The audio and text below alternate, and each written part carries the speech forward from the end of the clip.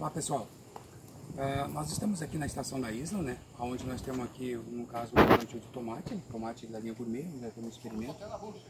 E nós vamos uh, iniciar aqui hoje, né? Já começamos desde a semana passada, a distribuição de tricograma, um produto da Promip que a gente está trabalhando. E viemos fazendo isso aqui semanalmente, né? distribuindo as vespinhas para parasitar.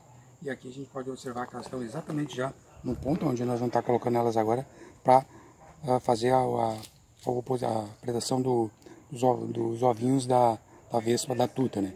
Então esse é um manejo é, que pode ser feito prevenindo o controle da tuta absoluta ou traça do tomateiro. Né?